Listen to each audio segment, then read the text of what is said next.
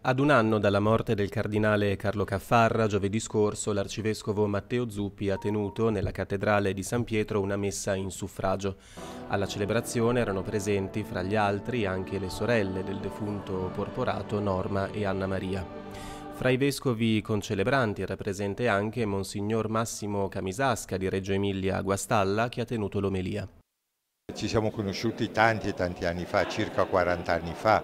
E io ero un giovane studente dell'Università Cattolica, lui era un giovane insegnante di teologia morale all'Istituto di Scienze Religiose, al Dipartimento di Scienze Religiose e quello fu il mio primo incontro.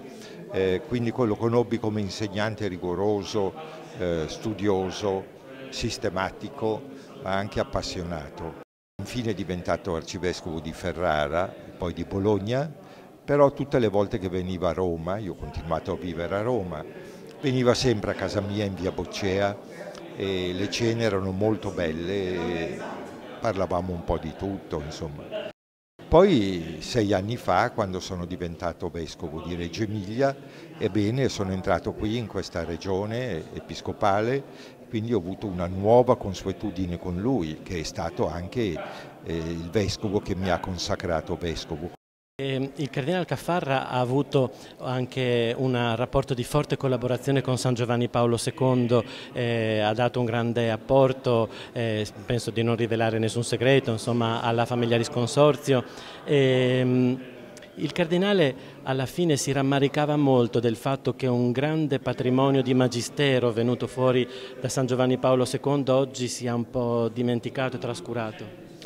Ma io penso che eh, i pozzi quando sono profondi hanno stagioni diverse nella vita degli uomini. Il magistero di Giovanni Paolo II è talmente ricco e talmente profondo che ne abbiamo conosciuto soltanto una piccola parte, come la punta di un iceberg. La storia mostrerà la fecondità di prospettive di questo grande Papa. È stato un grande uomo di coscienza al punto che alcune volte noi bolognesi lo vedevamo quasi somatizzare le sue sofferenze. Sì, un uomo tormentato. Questo era un aspetto di Caffarra, è vero, bisogna dirlo. No?